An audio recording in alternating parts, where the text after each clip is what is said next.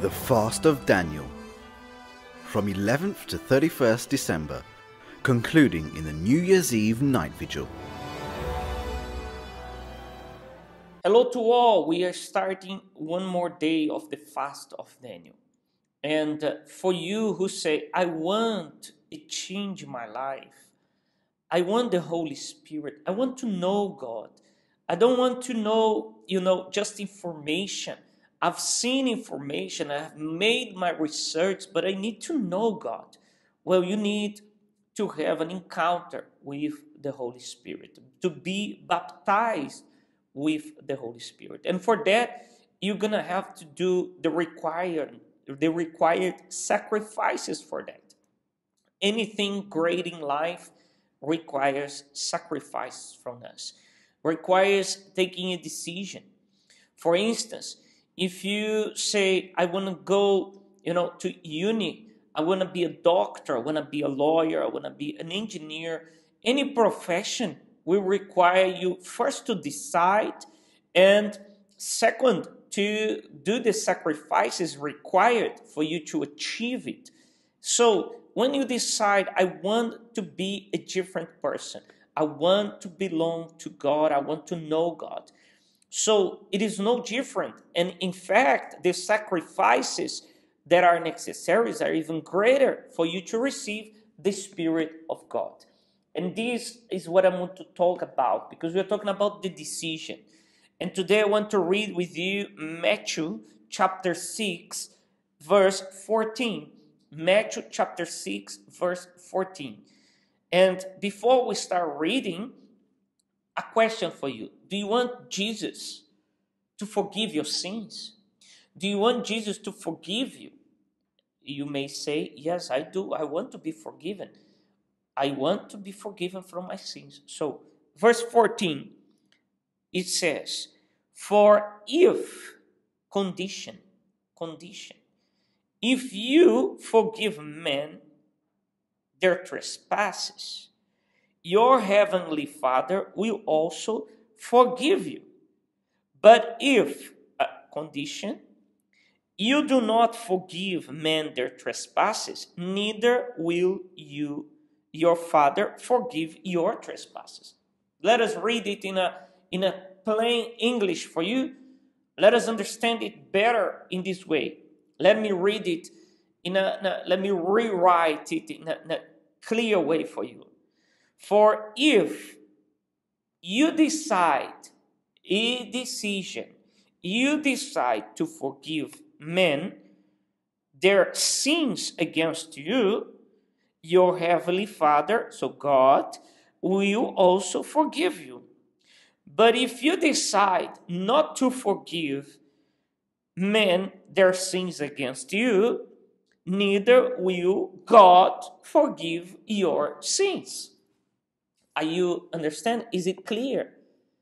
So a decision, it always involve, you know, cutting off something.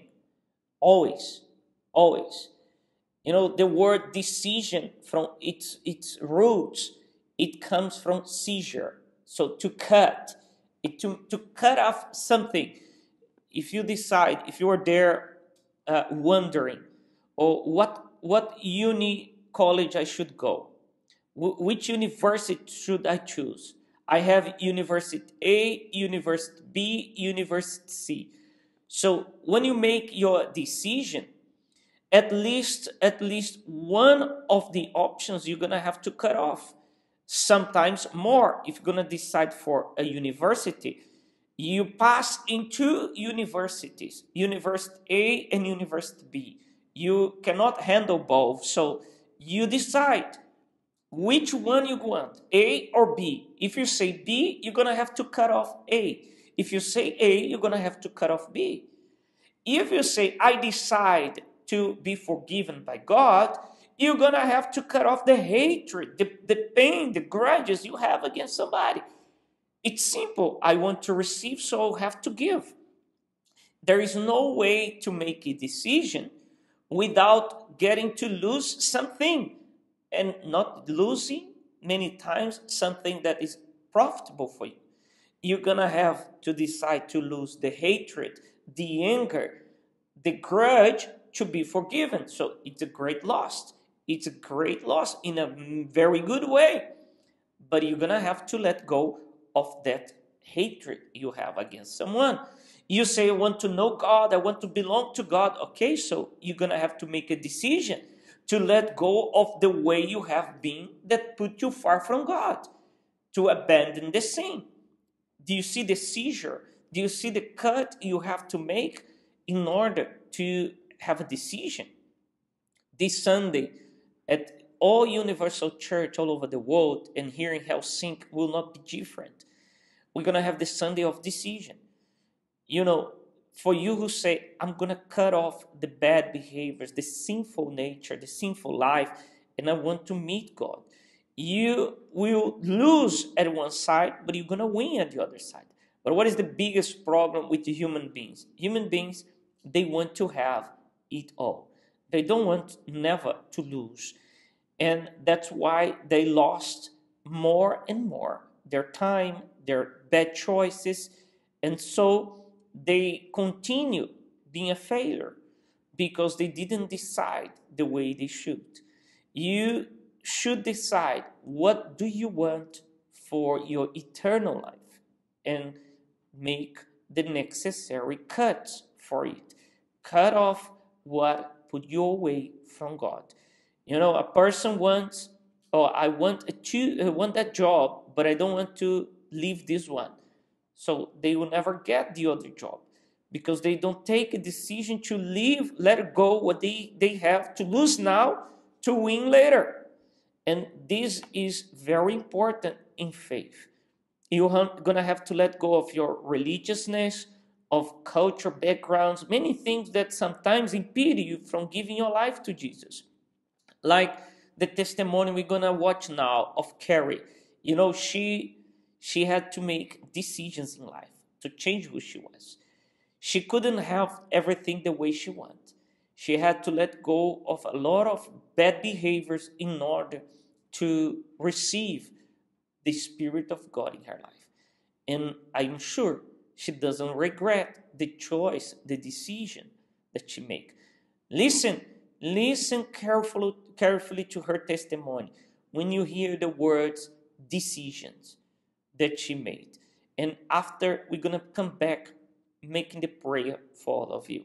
At the age of five years old, I saw a lot of violence at home. It was to a point my dad was always violent with my mom. And it was to a point where I saw him um, beating her, slapping her, and it was really, really bad. He, it broke me down, and I had a lot of anger towards him. And as we grew, as we grew up, my mom started to take it out on us, on me especially. I felt like I was the black sheep of the family.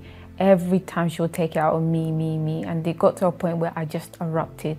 And because of that, it led me to do things that I didn't want to do. I would take drugs to escape from all the problems that I was facing at home.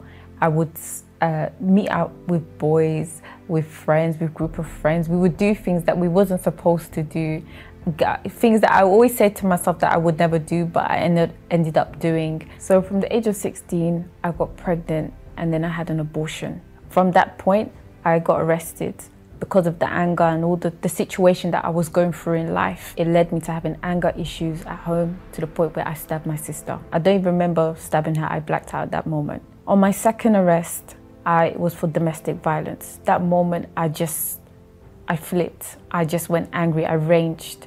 My mom said something. I don't remember what she said, but she just said uh, one word and I, I, I went out. I blacked out. Oh. And it was to a point where I got arrested because I turned my whole house upside down. I destroyed my own house. And inside of me, I felt very down. I felt downcast. I felt like no one was there to listen to what I, I, I was going through at that moment. I felt neglected, rejected. Many times, I just wanted to end my life many times I wanted to commit suicide, but again, I never had the strength to take my own life. So I thought, okay, because of me being arrested, having a criminal record, I said to myself, I'm gonna live my life the way I need to live it. I didn't care what anyone was gonna think about me. I didn't care how my life was gonna be, if I was gonna wreck it. It was already wrecked anyways. What more can I have done? Many times I thought that that's how my life was meant to be. So from 2005, I remember going to the church with my sister, and eventually we stopped going. We just stopped going. And then in 2017, I remember I was 19 years old and I said I needed help. I needed someone to help me with my situation, to resolve my problems that I was facing. And that's when I decided to head, return back to the church. So the pastor started to invite, advise me to start attending the Friday services. So I did. And I was constantly coming. And as I was coming, I was letting go of the grudges. I was letting go of the anger that I had built inside of me, the addiction, everything. And from then on, I've not been the same. Honestly, I can truly say that my countenance has changed from within. And after my deliverance, I realized the most important thing that I needed was the Holy Spirit, which was advised by the pastor. And he said to me, You can be in the church for one year, two years, three years, four years, 20 years, but if you don't have the Holy Spirit, you have an expiry date, you're going to leave. In the 21 days, I had to confess things that I had in my mind, and these were sexual thoughts, uh, promiscuous thoughts, it was kind of embarrassing to confess to God, but I had to do it, which was very hard. So, in regards to my family, I had to, you know, speak to my mom what was going on inside of me. I had to confess to her about things that I had inside of me towards her, even my sister, feelings that I had. And I asked her for forgiveness. This was one of the things that I asked for. One of the biggest issues that I had was believing in myself. I never thought that I could receive the Holy Spirit. And the more I kept on seeking God, the more I kept on talking to God, the more I kept emptying out myself before God, God was confirming with me that you're going to receive the Holy Spirit. So I remember preparing myself. I anointed my clothes. I, I seek the Holy Spirit. I fasted. I did everything I could to receive the Holy Spirit. I even said, God, I made a vow. I said, God, I'm going to bring this one soul to you. This will be my present to you. And I'm going to receive you. This will be my day that Wednesday was the last day of the 21 days. We came and the Holy Spirit said, I'm inside of you. He confirmed it inside of me. I, and from that day, I never felt the same. I never left the same. My mind wasn't the same. I no longer get angry or become violent. I'm not this, like, I believe in myself, even if I was think of me otherwise. But I believe in myself. I truly believe in myself. I believe that God is with me, that God is going to protect me. He's going to guide me through it. It's been 18 months since I've been raised as an assistant, and I can truly say that my desire more than anything is to saving souls, is to give to them what they never received from anyone, is to open their minds and to give them what God has given to me.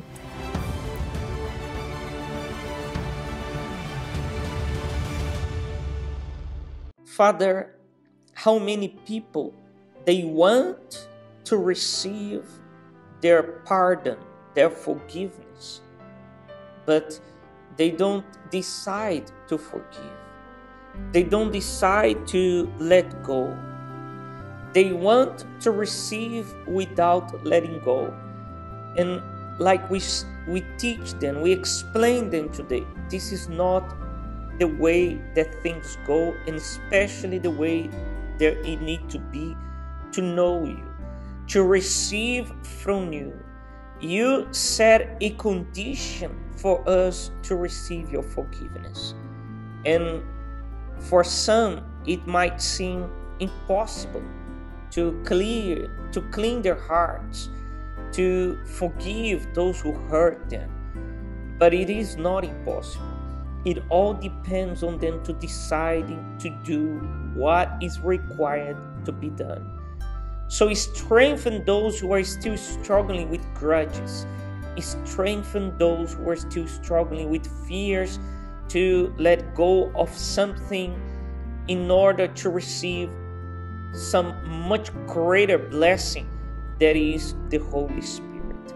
Letting go of the religiousness, letting go of cultural background, things that may just make them stuck in time, stuck in their faith, and not knowing you truly. Father, I bless those who are seeking your spirit. Let your spirit come and reveal to them the decisions they need to make in order to know you, in order to have your spirit, to have your presence in them. I bless you right now, you who are in this fast of Daniel. day after day, seeking thirstily to be filled with His Spirit. Receive life, receive peace, receive the love of God right now in your life. And you that believe, say Amen. Amen, dear friends. So, the invitation is there for you. Make a decision. Decide to leave your house this Sunday and to come. Decide to change who you are. Decide to forgive. Every decision that you make, it will take at least one thing that you're going to have to cut off. At least one. Sometimes more. But it's going to be beneficial, profitable, if you decide in the right way. God bless all of you. Do you remember how you started 2021? For most people, it's very easy to remember because that's exactly the same way that they are today. Nothing have changed. Same problems, same results. Repeat the same mistakes year after year. What is missing is one decision.